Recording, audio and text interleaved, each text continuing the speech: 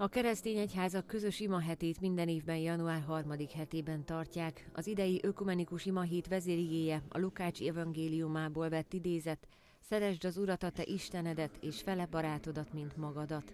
Az imahét kezdő alkalmát ma este dr. Finta József érseki helynök tartotta.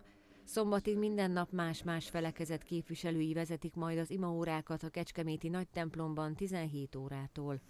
Az imahét napjain a különböző felekezetű gyülekezetek ökumenikus közösségben tartanak istentiszteleteket és imádkoznak a keresztények egységéért.